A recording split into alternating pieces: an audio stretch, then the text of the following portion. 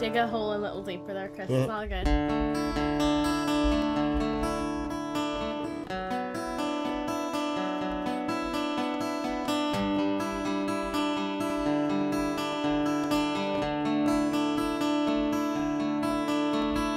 We were both young when I first saw you. I close my eyes and the flashback starts. I'm standing there on a balcony in summer.